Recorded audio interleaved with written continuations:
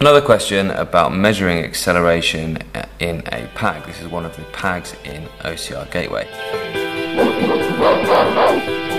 This is an OCR Gateway question on a PAG, which is other specs called required practicals. But this one is in all different specifications. This is an acceleration practical, so it's definitely useful for all specifications. It's going to ask you how to conduct the practical. It's going to ask you to plot a graph.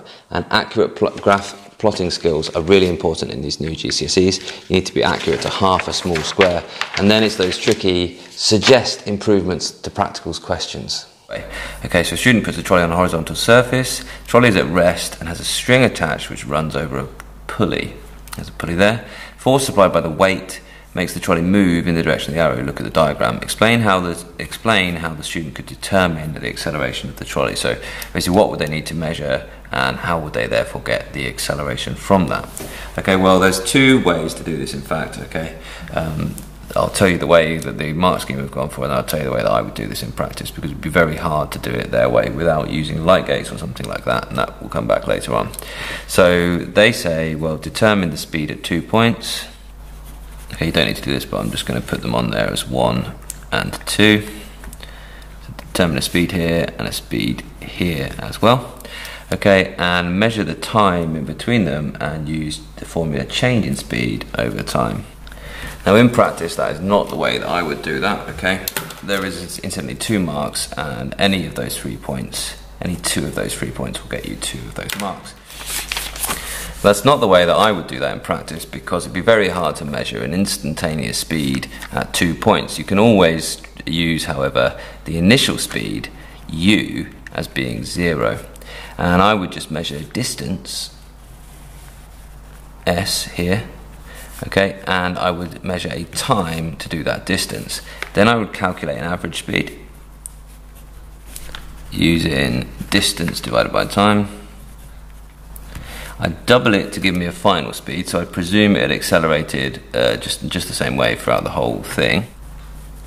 And then I would divide the final speed, which would be this v here, by time to give me the acceleration. That's that one. There's one, there's a video here with dragsters about acceleration if you want to check that out. Alright, so a student uses a 5 Newton weight or force to pull the trolley. He repeats experiments a few times with trolleys of different masses and calculates the average acceleration of each trolley. Look at his results.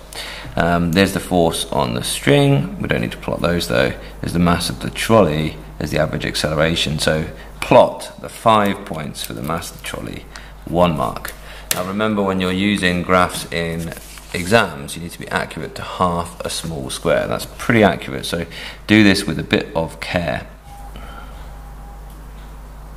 You need to be plotting with an accuracy of half a small square, so that's a pretty tight accuracy.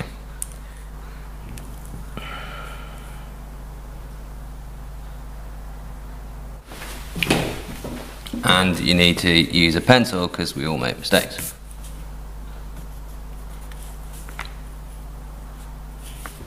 That does get me a mark, by the way. That's that's that plotting mark. So the next thing to do is to use the graph to estimate the acceleration of a four kilogram trolley.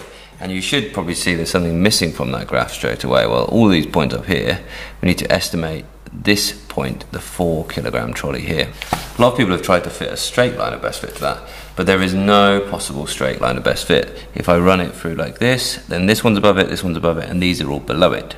And whenever you have points above it at either end and points below it in the middle, or the opposite way around, points above a line at either end and um, sorry, points above the line in the middle and below it at either end, you know it can't be a straight line that you can fit. So it has to be a curve. And when I try and fit a curve, I would normally turn the page around and just sort of do a couple of practice swings and then have a go. Okay, now it's important not to make it a sketchy curve. We want a single line of best fit. Curves up like this and I'm going to just delete the points here. Although in this case I don't get a mark for the, the curve I get a mark for the data that I take from the curve. But the accuracy of your curve drawing needs to be to within half a small square so it's well worth getting good at it. Okay my line is too hairy to be a good line of best fit really. Alright, so there we go. Um, estimate the acceleration of 4 kilogram trolley, I would say 1. Is that good enough? Yeah, 1.0 I'm going to go for. It. Now, they have allowed you a range. They have said anything from 0.9 to 1.3. There's quite a large range in this case because there's quite a lot of extrapolation to do, but you need to be really accurate in these new GCSEs with your um, graph skills. Suggest two ways of improving his results so the acceleration is higher. Student wants to improve results. The acceleration seems to be much lower than he expects. Now, I hope you're getting the idea straight away. Acceleration is lower because possibly not all of that force, that weight that he's given, is used to accelerate the trolley. Because actually, there's another force that tries to slow down the trolley as soon as it starts moving, and that is friction. So the resultant force on the trolley is less than the actual weight of this weight. So you need to do something to actually get rid of the friction. So you need to compensate the ramp for friction by raising one end slightly. Now, um, then they go on to say, well, what you could do is you could retake anomalous results, or you could take multiple readings and then take an average. Now, actually, I don't think that that is really a fair way to improve this experiment so the acceleration is higher. But that's what they've given in the mark scheme, so th those points we're going to say they're acceptable. But really, I think my class, when they did this, they had some better ideas, like maybe using a little bit more mass or a little bit less mass on the trolley, or a, a, a different way of compensating the ramp for friction, maybe using a linear air track or something like that.